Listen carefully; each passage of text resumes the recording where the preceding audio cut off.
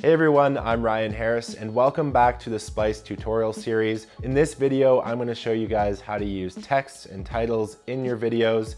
And it's quite simple, but we'll hop right into the app now and I'm gonna show you guys how to do it. So I'm in the timeline here in my Splice app and I've got all of this awesome footage loaded up from a great trip to Mexico that I had and I want to add some titles and text to give this video a bit more context. So we're gonna start by tapping the title button along the bottom bar here, press title, and that's gonna put text over a solid color.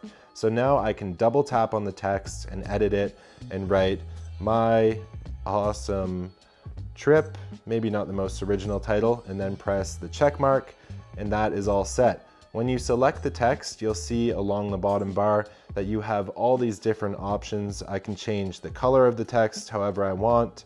I'll leave it at white for now. I can change the font to whatever I want as well. And as well, I can also change the opacity, alignment, and the background color. For now, I'll leave it on black. And you can also change the length of it simply by tapping on the T right here and dragging it as long as you want it. I want it to stop when the video turns on, so I'll leave it right about there. And then we have this intro title, which is perfect. But now I wanna also throw a title over this video right here to give even more context. So we're gonna click on the timeline. Along the bottom, you'll see a text button. Click text, and text is gonna pop up over my video.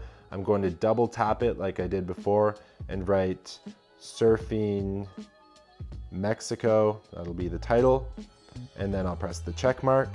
And now using my finger, I can slide this up and down and use the middle guide to center your text. I'm gonna put it up here and I'm gonna change the color using the color button here to black so it stands out a bit more.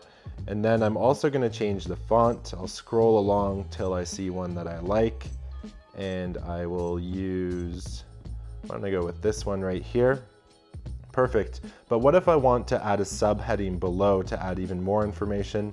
What I'm gonna do is press text again, like that, and I'm gonna write my surfing adventure here and press the check mark.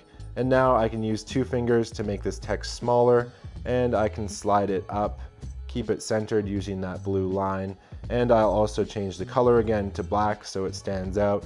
And now we have this awesome title that gives even more context to our film. I'll look down here, I'll make the timeline bigger, and I will make sure that our video and text stop at the same time, which they do.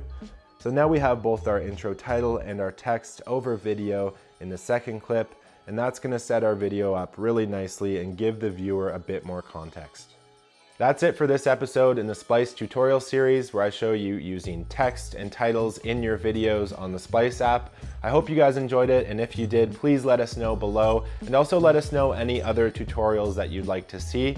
Thank you so much for your time and I'll see you in the next video.